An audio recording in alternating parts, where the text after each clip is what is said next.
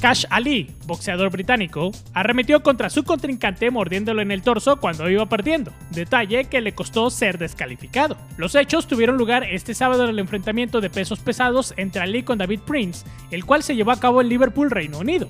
Durante el quinto asalto, Prince llevaba la ventaja sobre el otro, detalle que provocó que Cash tomara medidas desesperadas clavando sus dientes en el torso de su rival. El agresor fue descalificado ese al instante, lo que por default coronó como ganador a David.